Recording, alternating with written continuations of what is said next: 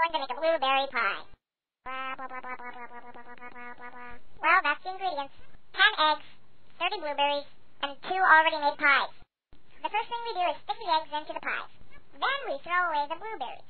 After we've done that, we throw the pies into the oven. Oh yeah, and the other pie. Then we set the oven for about 12 hours. But you don't start the oven until you put a fork inside.